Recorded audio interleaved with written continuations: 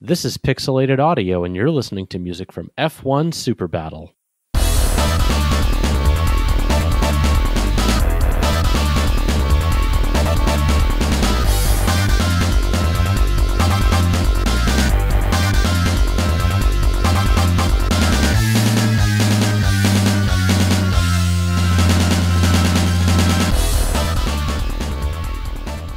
Welcome back to Pixelated Audio, a podcast focusing on game audio, its history, and the people behind it. We're your hosts. I'm Gene, and this is Brian. Back after a an unplanned mini vacation, we took a few weeks off just to give ourselves some breathing room. But today we're kicking off a mini episode sprint, if that's what you want to call it, uh, with an arcade game released by Jaleco in 1994 called F1 Super Battle. Nothing says sprint like a racing game. Exactly. That's why I kind of shoved that in there. But no, this is a, a, it's a it's a very short soundtrack. I thought this is a great way to just listen to some music together that maybe just was ignored. Right now, that track that brought us in was the course selection track from F1 Super Battle, and we do not have a composer, unfortunately. Uh, I, I looked, I looked at other composers around this time at Jaleco. Nothing really panned out. So not exactly sure, but still cool little bouncy track. For sure. It is an iconic mid 90s course select or race select track music. Like, I can think of like I think even Mario Kart 64 has something that sounds it, almost it like sounds this. just like Mario Kart. yeah, yeah, yeah. It's just like that. Uh, F1 Super Battle is a Formula One racing game released in February of 1994, developed and published by Jaleco for the arcade. And Jaleco, uh, like I said, is an interesting company. It was formed in 1974 by a Japanese businessman, Yoshiaki Kanazawa. Jaleco was first known under the name Japan Leisure Company, and uh, that's something that was new to me. Actually, I I don't know why I never knew that. I had never heard that before, but I guess that makes sense because that's like how Sega's whole acronym works too. Yeah, yeah. I mean, it, it, they were producing mostly stuff for arcade uh, and amusement parks, and so it they had the whole you know leisure company kind of thing, and then that just you know turned into you know they tried to make it sound a little cooler and put it all together. But anyways, Jaleco. uh, in 1982 they started doing their own arcade games, and then cabinets, hardware, and stuff like that towards the mid to late 80s. Uh, we can go into a really long history about the company, but this isn't really the show or the time to do it since we're trying to keep things concise. But what's really interesting about this game is that it came out on specific hardware, the Jaleco Mega System 32. And it was released for this hardware as a successor to the Jaleco Mega System Arcade 1. And some of the games that were also released on the platform were uh, P47 Aces, Desert War, Tetris Plus 1 and 2, and then World PK Soccer, Super Strong Warriors. There's a few, there's not really a lot of known games on there. Tetris Plus 2, you might know, because um, that was kind of a cool one. I think I've heard of Tetris. yeah, n- yeah, 90, 97. well, you know, Jaleco's version. Thanks, Gene. I, I, ne- I, never played it. I played Tetris the Grand Masters. Uh, it was too fast for me, though. That was a different platform altogether. That's the different, one where you can have different game. so yeah, a few games came out on this hardware and a few in their their previous system. It debuted in 1993, and the hardware was kind of like this equivalent, uh, visually of maybe like the like the 32X and like a Super Nintendo hybrid. Uh, had some interesting sound hardware that we haven't really talked about on the show before, and that's the Yamaha YMF 271 or the OPX.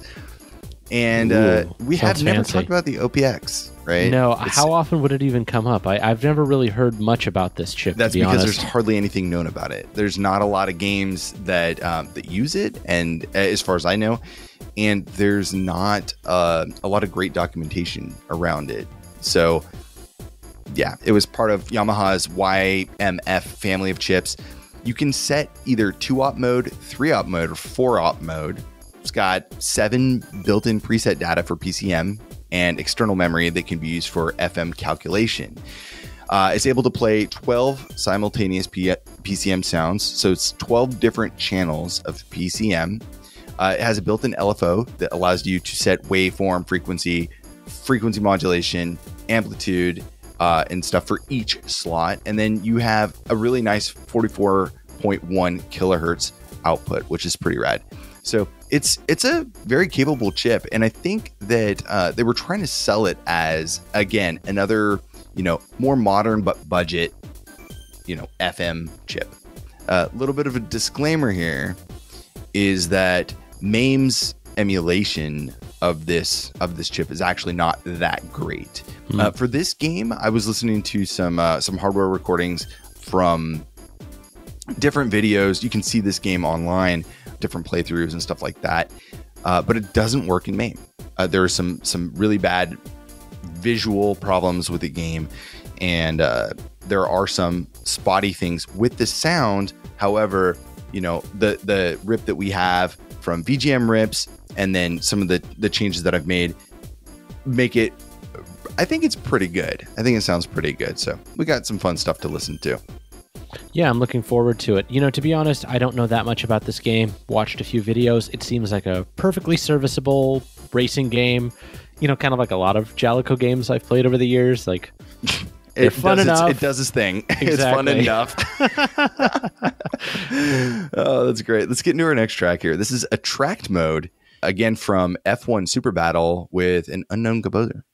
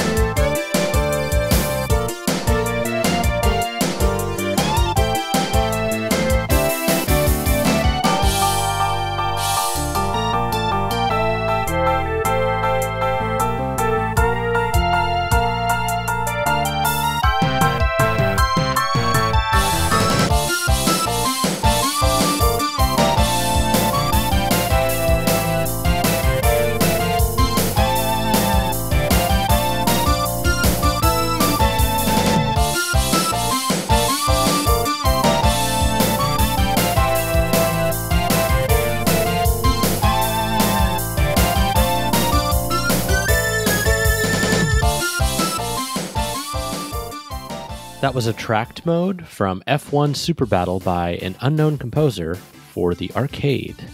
Fun tune, really fun tune, actually. Yeah, I love that one. In fact, the, the, hearing this track was like the reason why I was like, oh, you know, we should do this. We should just cover. You know, it's not a long soundtrack. This episode is going to be. I can't even imagine it's going to be over twenty minutes long. But it's such a a fun. Like this is what I love about game audio, right? Like this is the the, the you know unexpected, just randomly came across and I was like, you know what, this is great. This is really fun. I, I want to do a show on it. So I want to talk about it. So yeah, it's a fun track, a lot of energy. I love the the piano keys in there.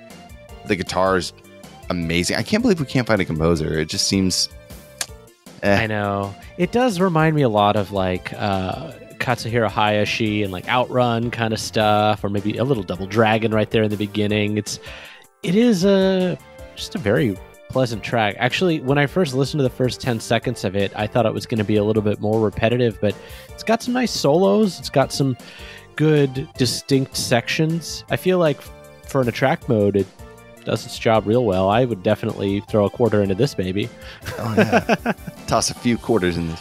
Um, Granted, I've never seen this machine in my life. I didn't. I've oh, never even heard of this game so before. weird looking. Okay, so this machine, this cabinet itself, is like an egg shape. So if if you look at like any of the videos, like there there's a few floating around of people who have the cabinets or have, have you know watched you know other people playing on the the boards. But there's a few videos of the cabinets, and I was really curious myself, like, what does this thing look like? Because you do get a steering wheel, and you have a um, uh, you get a, I think you get a clutch, but Mhm. uh, clutch, a pedal, and uh, you got you know shifter for high and low gear. Uh, but the shape of the whole thing is like like an egg. So like you're standing up to this weirdly shaped, like like circular arcade cabinet that makes no sense. I wish I wish I could find an image to put on the show notes just so maybe maybe I maybe I can do that. Maybe I can I- find something yeah, or at least take a that would- that screenshot of the be- YouTube thing I found. throw it in the show notes or something. Yeah, it, it is a really weird looking thing, but I I see another screenshot in the Google results, and it looks like there was a sit down cabinet as well. So there may Right. have been like you know the more compact upright, which they just had to fit the guts into it in some weird egg shape. So I believe I was looking at the uh, the dip switches and the service mode in MAME because that that works okay, and that's actually how they have a sound test in there. Um, so I believe get the music that way. Thanks to G the Guardian for actually doing the logging on this. It was a while ago, but uh, it, it's it's a good rip nonetheless. And uh, I was looking in the the service mode, and there is a um, uh, what is it like a like a placement registrar, like where you can say like I'm going to assign this to slot one, lo- slot two, slot three. So I'm wondering if you could link up like Hmm. eight different cabinets to uh, to play. I'm I'm guessing you can based on what it shows in service mode.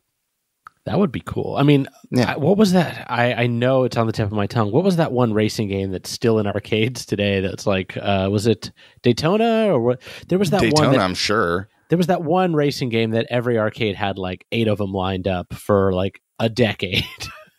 you know which one I'm talking about. So there's so many though. It could have been like San Francisco Rush, could have been like Daytona, could have been It was not San Francisco Rush. I know there was one specific one that was just like did that thing, and that probably was what set it up. Like, yeah, you want to race as many folks as possible, four, six, eight, however many you can get. But Oh, I, I man, know it's, now I got to think about which me. one you're talking about because I'm sure as soon as we stop recording, we're gonna know what it is. I'm gonna. I'm it up? just gonna look it up real quick. Let's see. Uh, While you're looking that up, the the game itself though is really interesting. It's like any other, I guess it's any other racer, kind of like um, I want to say like Top Gear in a sense, like where, where you have these kind of swerving. You have the you know the car that just kind of pivots in front of you, and you're swerving left and right, up and down over hills. But it has that 32x kind of granularity to yeah, the, yeah, the, the look kind of quality. yeah, very very pixely, but also like you know, maybe Super Nintendo's a little bit too being a little too modest. It's got a little bit of you know 32x PlayStation or maybe early Saturn stuff in there. So pretty neat though. Standard standard F1. I mean, you're racing around Form- Formula One cars really fast. Um, watch the video. There's there's somebody who has a, a, a cabinet or the board itself, and uh, has some really really cool videos of them just zooming through traffic. It looks hard. Yeah, I didn't watch much of it, but I mean, honestly, I'm not that good at racing games. It's it's one genre I've always struggled with. So You know who's really good at racing games? uh, no, James. Oh, James. nice. He's really good at racing games. That was like Should- his jam. Should bring him back on the show sometime. We gotta get him on. I know. Yeah, for Yeah, sure. he's he's been wanting to get back on too, so it's it's, it's probably time. Anyways, let's get into our next track here. This is called well, it's an unknown BGM, unknown BGM one. It's funny because in the sound test, this is actually the first track, but I have no idea where it plays. So let's take a listen. We'll be right back.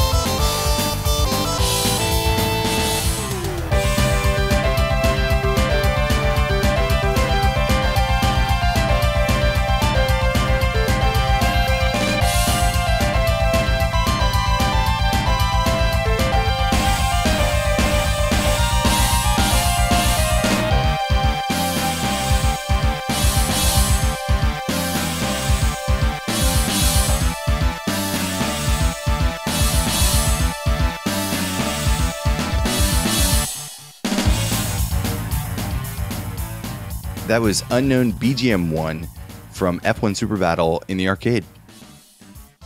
Very different energy to the last track. It was. I can see why it didn't get used. I honestly felt like that was more like an RPG boss battle theme than it was a racing game track. Like, It- on the one that. hand, maybe it's the instrument set. I don't know exactly. It just didn't quite mesh with that attract mode. Great tune. Yeah, it's great it's a great yeah. track. And you know, to be fair, we don't know if it's not used. It's just you know, G the Guardian when he was doing the rip, he didn't know. And I was listening to it. I don't know. The fact is the first song on the sound test, I'd have a hard time believing they are not using it at all, but who knows? They it, it might not have made its way into the game. They're like, look, we got a course selection, we have a few jingles, and uh, you know, the the next track we're gonna play, which is Final Lap, and that's it. That's all you need. We just want your money. We don't care about after the fact once you put it in the quarters. I just want to bring this up since we talked about it way back when, but three op mode for the FM chips is really unusual. I've not heard of many using odd numbered I- operators. You, you know what? I, and I thought so too, and I thought it was a mistake. So I'm really just going off of what's on the MAME source code and Japanese Wikipedia. And that's really the my, my best guess. You know, not a lot of people know about this chip. It's not widely used, and so I can't imagine there's going to be a lot of information on it. let's see. yeah. I don't know that they use this chip to its fullest extent, so maybe we'll never know. we might never know. Anyways, let's get into our next track here. This is our uh, our final track, and it's called Final Lap. So let's take a listen.